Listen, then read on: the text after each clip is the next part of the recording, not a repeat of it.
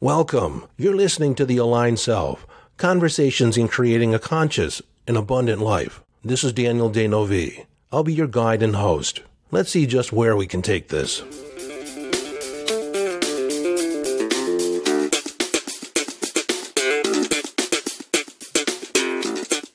Hello, friend, and welcome back to the conversation.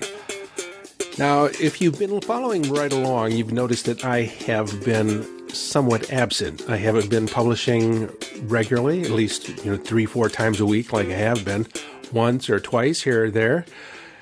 I've been going through something, and I know some of my friends have been going through something. Exactly what it is. It's an energy upgrade. It started for me the 1st of August.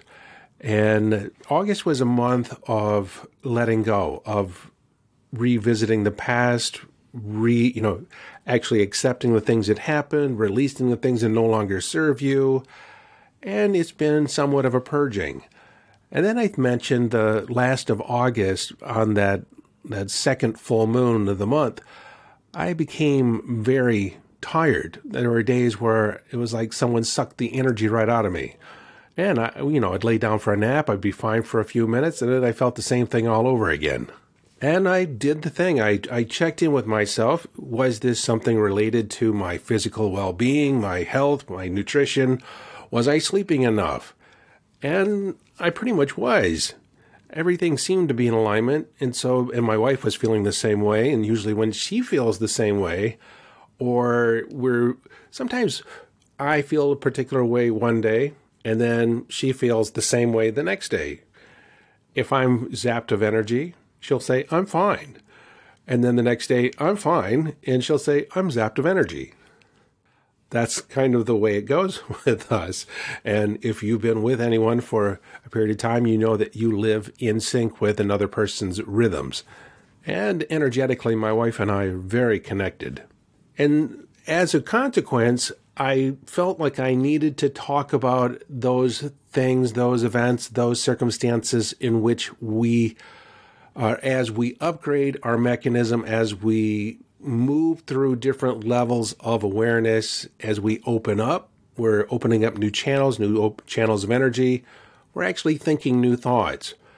And I, in the last episode, I talked about the different feelings, circumstances, events that you could probably expect to move through as you do this. Well, in this episode, I want to talk about some of the practices that you could put in place if you haven't put in place already that will, one, assist you on your journey of moving through the void, moving through these different upgrades, or making yourself ready to open up to these up levels of energy.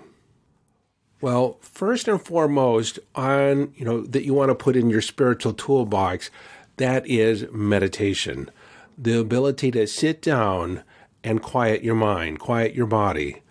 Now, there's three different phases, and there's lots of different ways to meditate. There's lots of different ways to meditate. So I'm going to define what I talk about as meditation.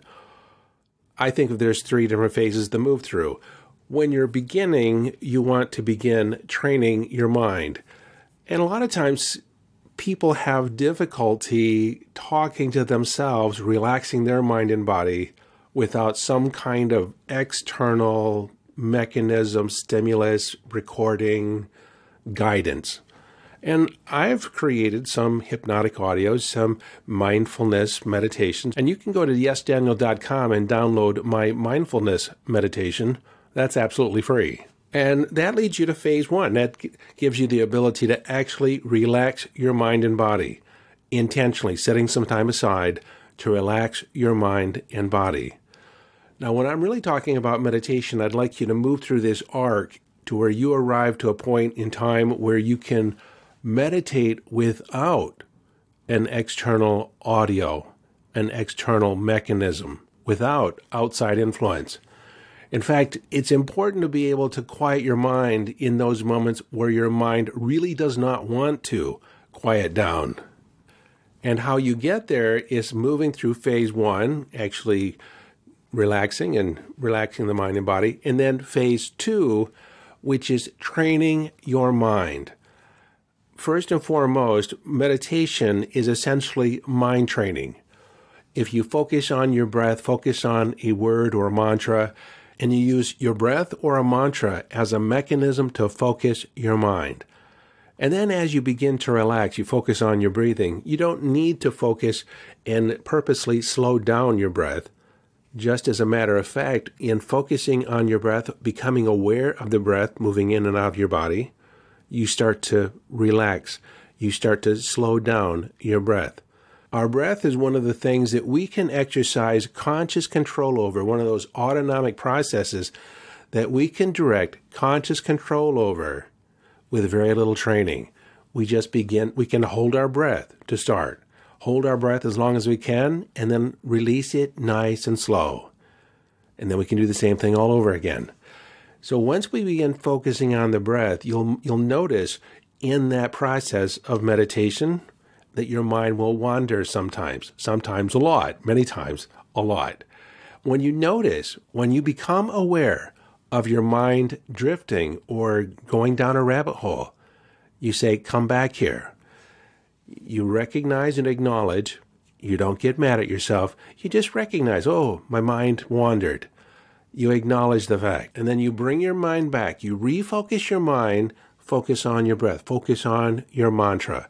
And I don't, you know, mantra, you can say virtually anything. It can be the word one or love, love, love, peace, enjoy, and just love, peace and joy over and or you can you know meditate on the word om. When i first entered formal meditation i was given a mantra called om namah shivaya. Another mantra is soham. Soham. And it's i am god or i am that another thing you can meditate it on it is a question who am i who am i and just experience the emptiness on the other side of that question. And sometimes you might get an answer and you just repeat the question. But who am I? Really? Who am I? And this can be a deep meditation. But again, you're going to notice that at some point your mind has wandered. And when it does, you say, Oh, my mind just wandered. And you bring your focus back to your breath or bring it back to the focus on your mantra. You see, this is the mind training, and you may go and catch your mind and bring it back to the task at hand, which is your breath or your or your mantra, a hundred times. And it may feel like this is not a successful meditation. I just cannot relax my mind. But understand this is mind training. So every time you go and get your mind, you acknowledge it wandered and you bring it back to the task at hand, you are training it to focus. You are training it to go where you want it to go. And if this feels difficult, if this feels cumbersome at first, it's okay. Because if you catch your mind wandering off and bring it back to the task at hand a hundred times, that is a successful meditation. And you might say, Daniel, I did not relax. My mind was running all over the place. But every time you went and caught it and brought it back, you're training your mind. You see, the more cumbersome this feels, the more awkward this feels, the greater the benefit you're going to have. People have a hard time wrapping their head around it. They feel like they're doing it wrong.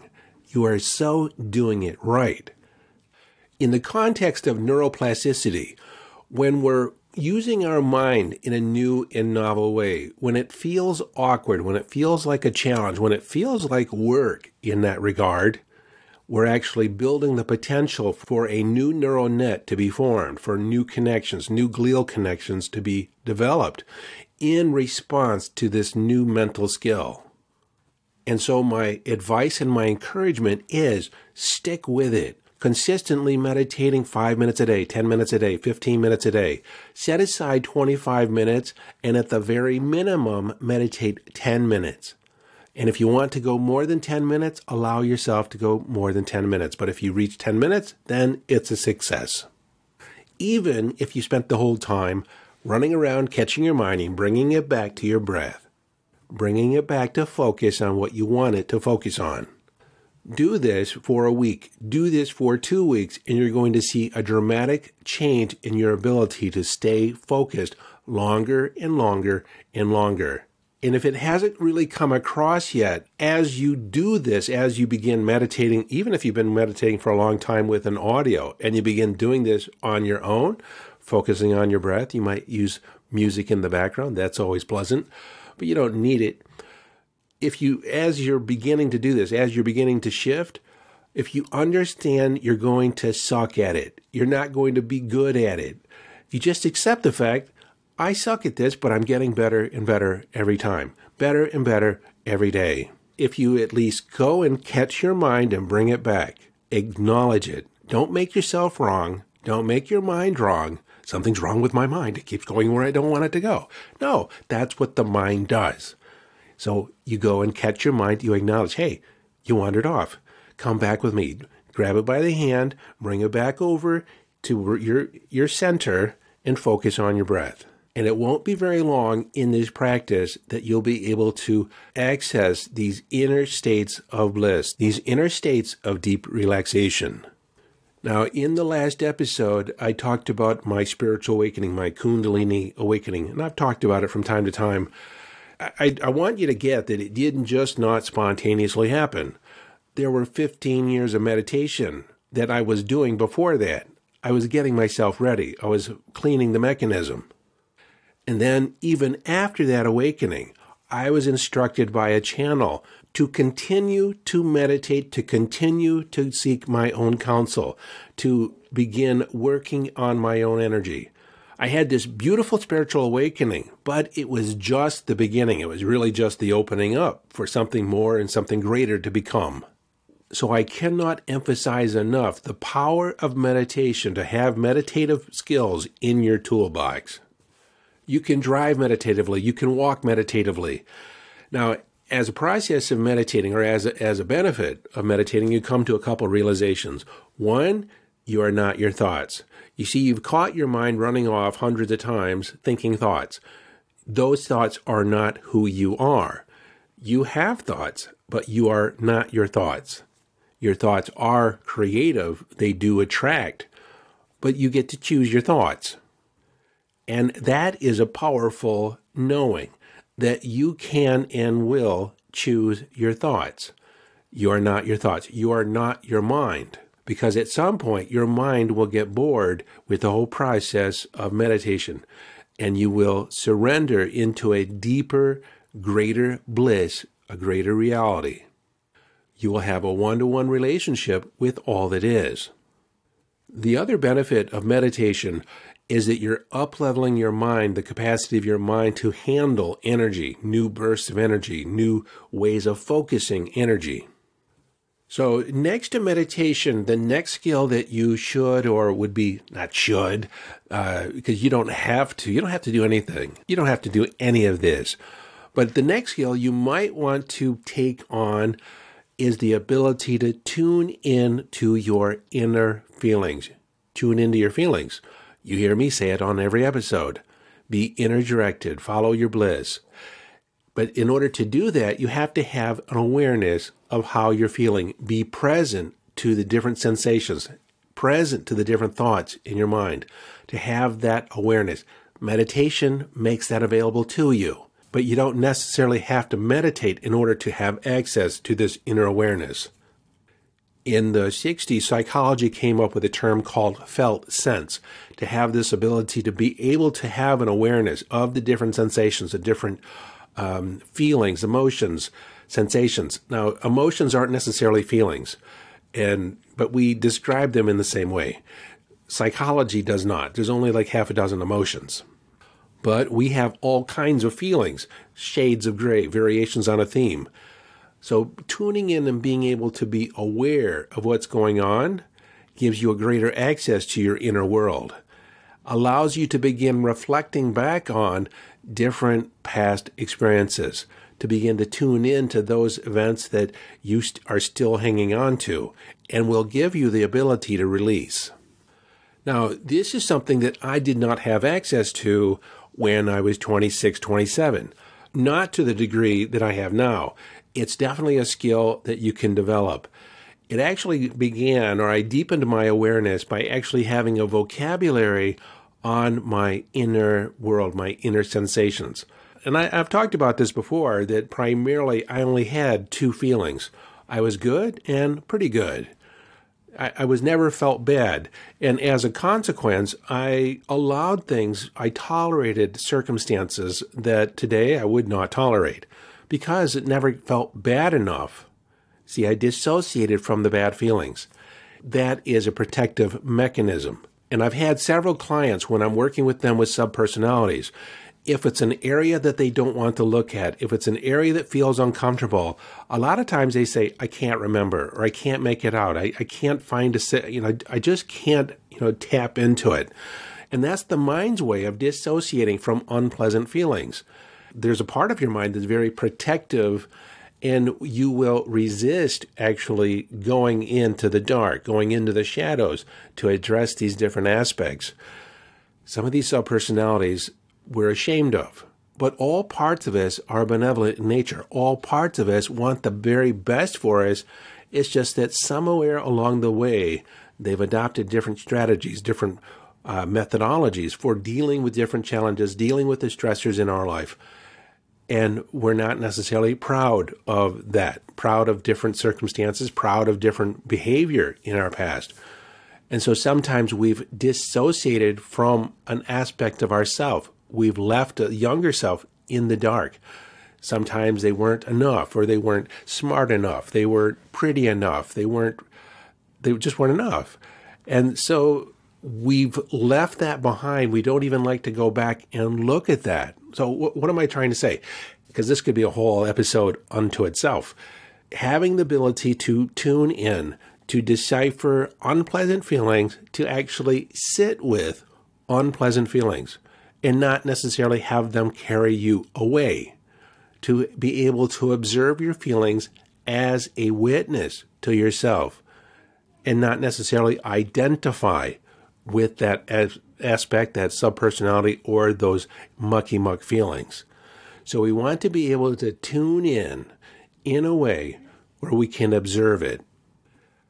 Then the next thing that we want to have access to that will assist us on our spiritual journeys, assist us in our opening up, having that felt sense, being able to meditate, it gives us the ability to actually recognize and identify our hurts and our pains from the past to actually begin healing the blocks that we've adopted along the way. For many people, just this very process of reclaiming themselves, reclaiming the different aspects of themselves from different aspects of their past, going back and healing the trauma, releasing the pain, releasing the hurt, and accepting it, coming to a point where I am where I am. This is the present moment. I'm safe and secure in this moment. The past is the past. It no longer, or it never had to, influence who I am today. That whole process of healing is a lot of times, in many ways, a person's very spiritual journey. And through this healing, through this reclamation, reclaiming the different aspects of ourselves in coming to a place where we're whole and complete. We acknowledge ourselves as whole and complete. We no longer feel broken. We no longer feel like there's parts of us that don't belong. We love ourselves. We have respect for ourselves. And sometimes we need to have that before we have the healing. We are loving with ourselves. A lot of people say, I don't love myself. Well, why not? I mean, you're all you got. So why not be loving to yourself? Love is a word you live. We can all be more loving, more gentle with ourselves. So, if you've been meditating, if you've been investigating different spiritual beliefs, different disciplines, you feel like you're growing, you've had epiphanies, you've had aha moments, but you really haven't dived inside. You really haven't begun healing those shadow aspects, those shadow subpersonalities. You haven't managed those shadow beliefs that have plagued you. Somewhere in the background, somewhere off in the distance, I'm not enough. I'm not lovable enough. I'm not good enough. Or I don't deserve it. Until we actually come to terms with those, we haven't really been on the spiritual path. Now, in some ways, you could just say this is the psychological aspect, it's the emotional well being, but it's all the same. You can't ignore one compartment of your life and not have it affect every other compartment of your life. We're a, we're whole and complete. We are a unified whole. And so what goes unaddressed in one area will show up in other areas of your life. But you've also heard me say many times that your point of power is the present moment. The past need not impact you any way whatsoever. But it's our attachment. You know, if we have an attachment to the past, we have attachment to different things. If we say, I am the way I am because of that thing that happened way back when, then it is impacting us. It is possible just to release it completely and focus on who you are in this present moment, to be present in this moment. That is the next tool in your toolbox to be present. And you can practice being present in nature. Nature demands you be present. There's a term that the Japanese refer to as forest breathing. Actually, being in the woods and breathing in the energy, communing with the forest, you immerse yourself in the energy of nature. You're bathing in the forest. Another aspect of this, if you're into music, is find your favorite music and put on the headphones. Turn off the lights, lay down, and treat yourself to an experience of deep listening. Now, the more musical you are, the more you can appreciate the different notes, the different layers of melodies, the different rhythms that are going on. But if you just listen to all the different aspects that are going on inside the music, you know, and I have different genres that I just absolutely love, but Vivaldi's Four Seasons is something that will take you away because it is composed at a a heart rate beat or it's composed let me say this it's composed in 4/4 time which is one beat every second and so your brain and your heart will entrain to the rhythm of the music one beat 60 beats a minute and it will slow down your heart rate, slow down your mind, and actually induce a meditative state. And there's so many things going on musically, but that's that's a whole nother episode. Deep listening. You can do the same thing when you're in nature. You can do the same thing when you're at the mall. I used to sit in the mall, close my eyes, act like I'm asleep on a bench and listen to all the different sounds, all the different conversations, and be able to tune in to different things, different things all around me. It was like an orchestra. I took a youth leadership program to India. Now, if you live in India, you know and are aware that India has its own music. Same thing with Thailand, in Indonesia. There is a rhythm to the traffic. There's a rhythm to the people that are walking around, the different conversations, the different tonalities. One of my students, one of my, my young people in my leadership program, talked about the music of India. This is another way of being present in the present moment. You can be present with people in your life. Actually, sit with them and provide space for them to show up. Provide a space of unconditional love, a space of listening with your partner. Now, I should probably say if you don't know how to get in the present moment where you are, the easiest way is to sit where you are, stand where you are, and begin noticing the different things in your environment.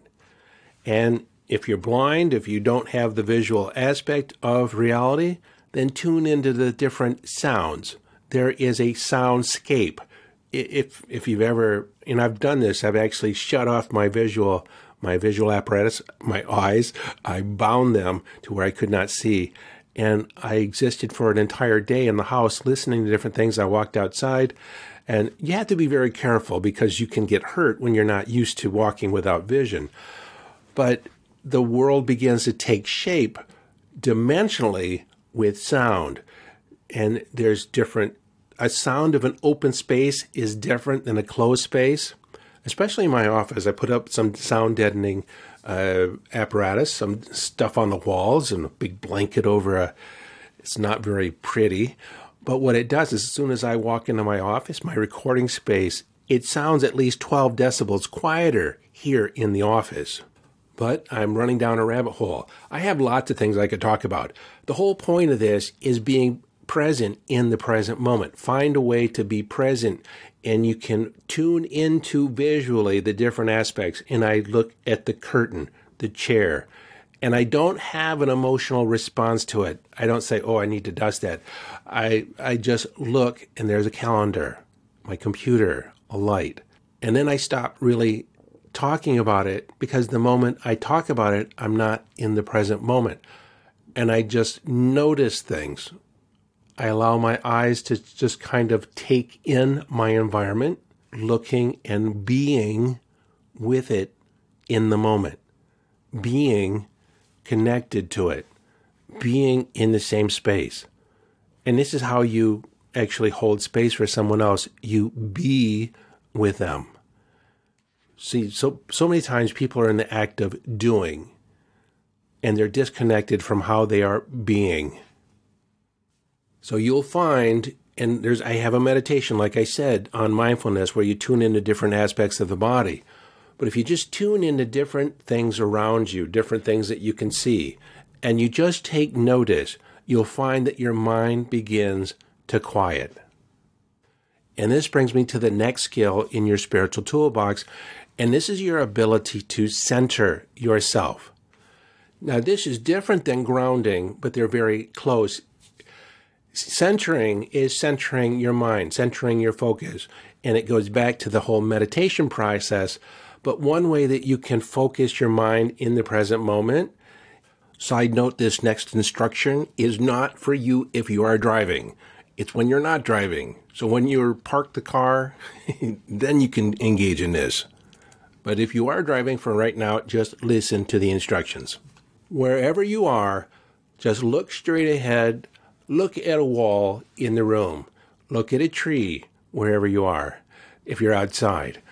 If you can look at the wall, look straight ahead, and without tipping your head up, allow your eyes to roll up at about a 45 degree angle to where you're looking up near probably up near the edge of the wall where the wall meets the ceiling. And you just kind of stare up there and you take a nice deep breath. What happens when you do that? By looking up without moving your head, you shift your brain to engaging your visual cortex, which activates the alpha brainwaves. Now, I have to say, if you have not looked up like that, it may feel a little uncomfortable because your eye muscles are not used to moving that way. In moving your eyes, we're actually activating different aspects of our neural cortex, waking it up, so to speak. Because the optic nerve is actually an extension of the brain. There's, you know, the optic nerve is just an extension and it connects to your eyeballs it's it's directly connected to your brain, the neural net. And so back to looking up, we're activating the visual cortex, we're engaging the alpha brainwaves. Alpha state is a state of intense or not intense but directed focus. It's also a mental state in which you can program your mind in positive ways. When I work with students that have test anxiety, I teach them to access this state and then study in the alpha brainwave state. And then when they go to take the test, they activate that, that signal again to activate the alpha state. And they have access to all the information. It's called state dependent learning. We just reactivate that alpha state. Now, if you have difficulty sleeping because you have an active internal voice, then just close your eyes, roll your eyes up to the top of your head, again, engaging the visual cortex, and you'll find your internal dialogue diminish or eliminated completely. So by rolling your eyes up, you're engaging the visual cortex, you take a nice deep breath, and you remember a time when you felt extremely tired. Now, if you're driving, don't do this at all. Just remember, you know, you can use this, file it away for use later. And but you just remember a time when you were really, really tired, and now's your time or your opportunity to take advantage of it, and now you can sleep. But I've had many clients over the years that tell me I just can't sleep because I can't shut off my mind. Same thing with meditation. As soon as you roll your eyes up the top of your head, it shuts off the internal dialogue, and it's astounding. People, uh, they're so amazed. They didn't know they didn't have to listen to their internal voice. So, back to the entire process of centering. So, just to center yourself, you look up, you activate the alpha state, take a nice deep breath, maybe two or three, and you become centered in the present moment. Now, I did mention grounding, and I have mentioned grounding before, and this is actually getting your feet on the ground, terra firma, on the earth. The earth resonates with negative ions. When we become discombobulated, when we are in the stress state, we produce positive ions. Waterfalls, candlelight, they produce negative ions. Himalayan salt crystals produce negative ions. They're calming, naturally calming to the soul. And so by putting our feet on terra firma, if only for a moment, almost instantaneously, we drain all these positive ions, we neutralize the, the, the, charge in our body, and we become centered, grounded with the earth. Now, this is important because we are a human being immersed in the or let me say it a different way, we are a spiritual being immersed in the human experience. So we're in this human experience, and if we spend too much time in the etheric, too much time in our head, too much time thinking, thinking things through, using our mind at work, working on the computer, too much time on the phone, then we become ungrounded and we become spacey, we become uh, maybe even a little depressed or depressed of depressive feelings and by grounding, there's an immediate release, an immediate cessation of this fogginess, of this spaciness in our head. And again, just like forest breathing, the more time you can spend outside, the better for you. You get the vitamin D. And you may have heard different neuroscientists talking about the value of seeing that orange yellow light just as the sun comes up over the horizon. And then again, also watching it when the sun goes down, when the sun sets. This activates the melatonin, the re- release of melatonin, the natural circadian rhythms. Most people never see those light frequencies. They get up in the dark, they go to work, or they don't, they're focusing on something else. They're not being present to that, that morning twilight dance of light, the orange, yellow light, where you can still kind of look at the sun and it's not that intense. You don't want to look at the sun if it's painful. Not at all. You can go blind. And that, that you'll go blind. You will. Do not do it. Uh, so you want to look away. And if you do, if you can, get out during the day, during for lunch, get out in the sun and without sunglasses. Sometimes people can't do it without sunglasses. I suggest you do. It's it stimulates the production of vitamin D, stimulates the mind, stimulates the brain, it's good for the soul. And so this is where you also want to work on your spiritual journey is recognize you are an animal. You are spiritual and animal. And so we have to take care of the animal. You, you want to begin giving yourself good nutrition, making sure you're getting plenty of water, clean water, especially in the morning, because your nervous system, and I did talk in the last episode where it's important to drink lots of water and also uptake or increase your mineral intake. Magnesium, calcium, phosphorus, potassium, and zinc these are, and manganese. These are essential minerals that you need to help. Bones are made of these minerals. Your, and not, phosphorus is the, the largest uh, mineral in your bones, not calcium. But calcium, serum calcium, calcium in your blood, it helps mediate all the neural signals in your body along with magnesium. And so these minerals, a lot of people are deficient in. And when you start taking these in, you begin you begin relaxing more. You start thinking more clearly. Things just work on a better basis, or a better basis, a more effective basis. This is an area where a lot of people, a lot of people, it really astounded me during the pandemic how many people are not in touch with their body, the processes of their body, the power of nutrition, the power of their mind, and their immune system. It, it just, it, it's, it, it, gosh, I was totally baffled and amazed. And I did not realize how far I'd come in researching this, in becoming aware of it, and just having that that this knowledge of the power of nutrition and water and rest. Oh, that, that's a big thing. Again, we could do an entire episode on nutrition, and we probably will at some point. Probably bring my wife in on that because she's a health coach among her other talents. Um, so we'll approach nutrition down the road. But one of the things I wanted to touch upon is recovery. Recovery. Most people do not give themselves the space to recover from the stressors in life. For every action you engage in, you need an equal amount of recovery time on the other side.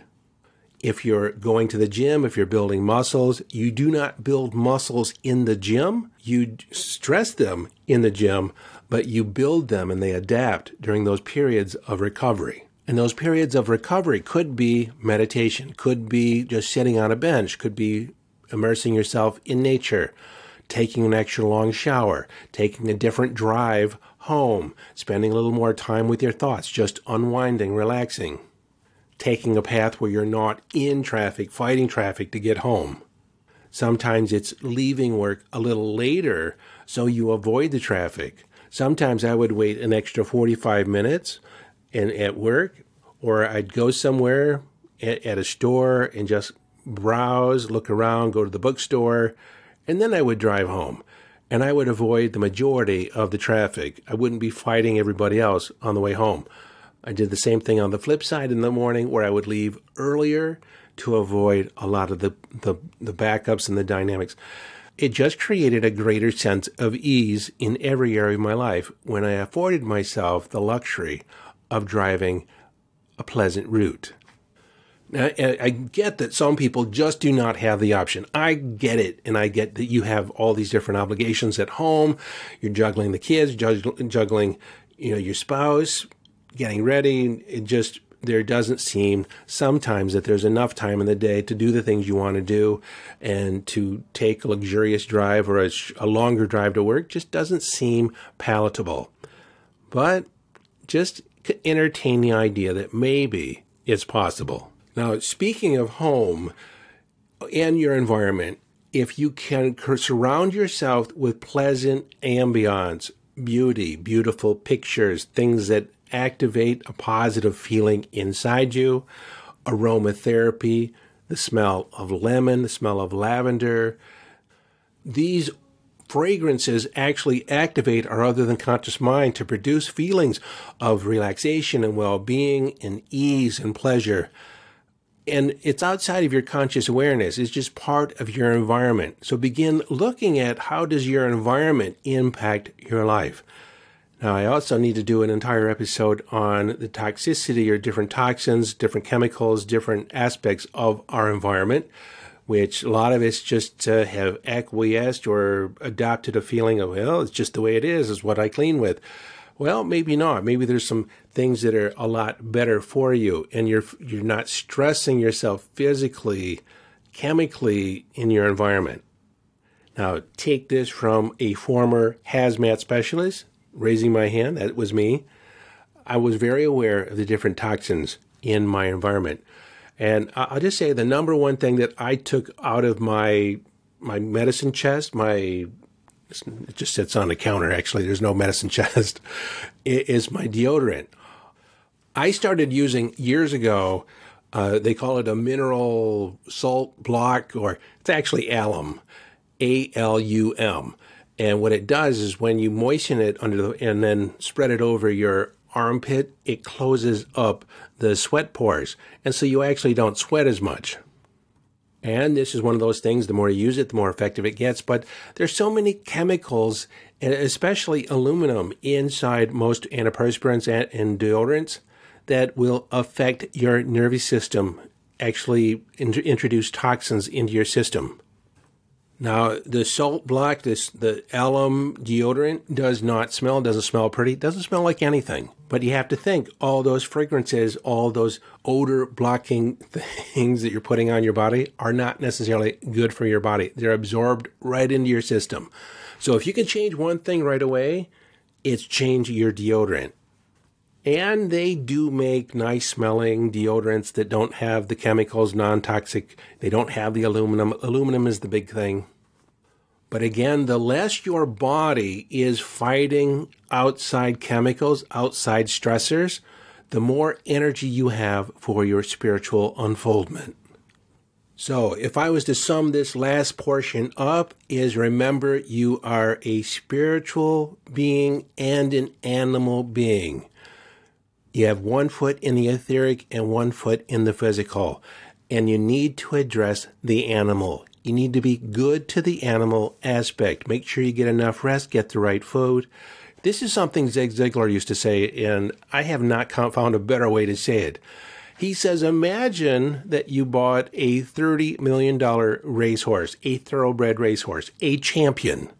Now, would you feed that horse pizza and keep it up all night and make sure that it didn't sleep or no you would make sure that it had the purest water the best food the best training the best trainers.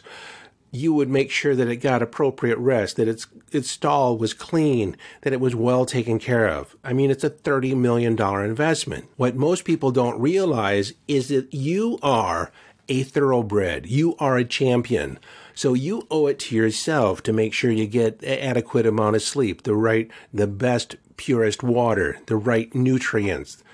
You make the right training, the right coach, the right teacher, the right circumstances.